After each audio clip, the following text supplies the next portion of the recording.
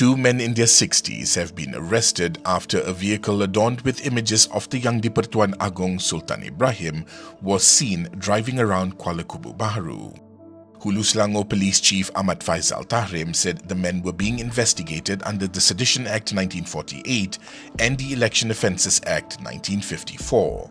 He said a Kuala Kubu Baharu resident lodged a police report about the possible insult to the king yesterday.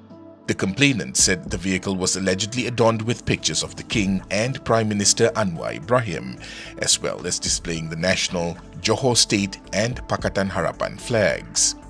Ng Sze Han, who is the PH election director for Kuala Kubu Baharu, denied claims that it owned the vehicle, New Straits Times reported. Similarly, Bersatu's Associate Wing Chief Chong Fat Full said PN had lodged a police report and called for the Election Commission to investigate.